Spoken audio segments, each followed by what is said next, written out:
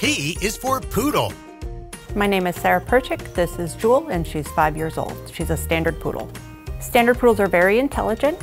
Uh, they're very active dogs. They um, enjoy being around people and enjoy doing certain jobs. The standard poodle was originally bred as a water retriever, but their popularity has grown due to their high intelligence and low shedding coat. The standard poodle originated in Germany, although they're thought to be a French breed.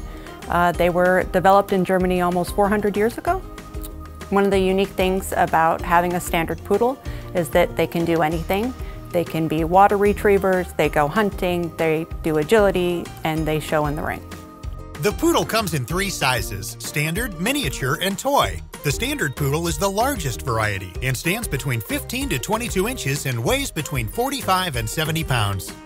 Because they don't shed, Poodles need to have regular grooming and maintenance. For a pet dog, they need to be groomed every six to eight weeks. Past that, they will start to mat. The show clips are a little more upkeep. They're done every week to maintain that look for the show ring.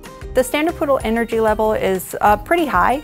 They're very active, intelligent dogs.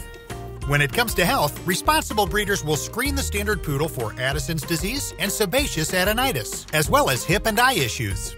So with responsible breeding and health testing, most poodles enjoy a happy, healthy life.